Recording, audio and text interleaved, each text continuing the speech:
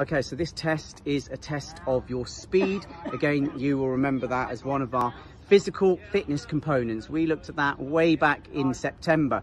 We've measured out at five meter intervals all the way down to the double red cones. That is a 35 meter distance. So it's unlikely that you can do this test at home. You might, if you're able to measure out that sort of distance somewhere in the park.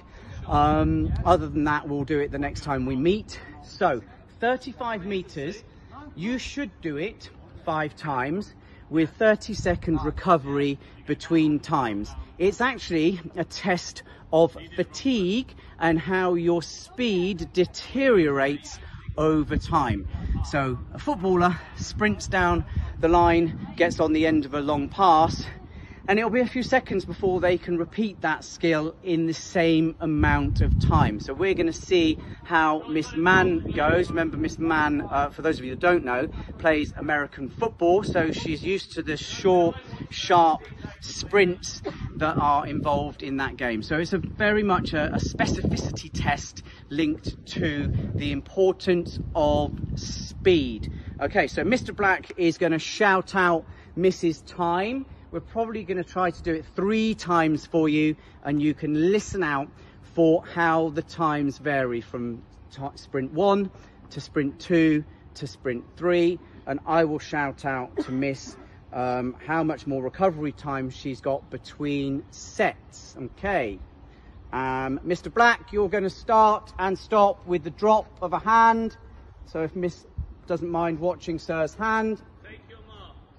Three point start. Maximal intensity, pumping arms, pumping knees, head comes up, decelerate, and then I start to record the 30 second recovery. So we've already had seven seconds recovery, that's 10 seconds recovery.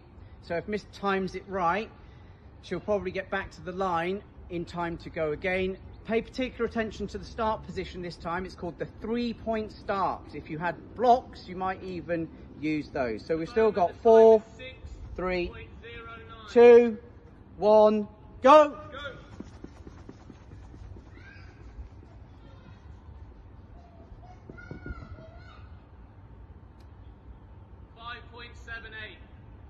What was the first one? 609. She's getting faster. Yep. We might have to do the five. yeah, that's probably not uncommon. Human error as well. Well, that is a factor, sir, and it actually mentions it in the book. The disadvantage of this test is if I say go and sir's a few, just milliseconds off me saying go. Okay, in three, two, one, go.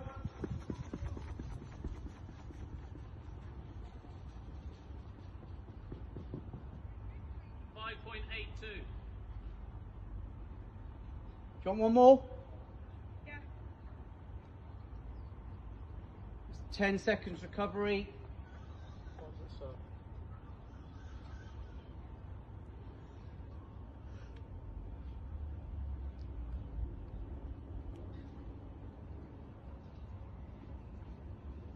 From the book, you guys will know that these are hollow sprints that Miss is performing. And three, two, one, go!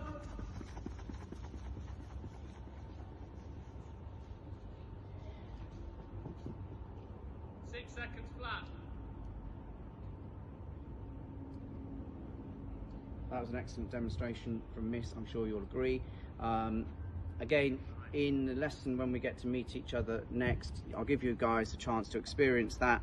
Um, you should do it over five attempts and then you would compare your your fastest time, not not necessarily your first time, um, to your last time and to see how you are affected by fatigue over a 35 meter sprint.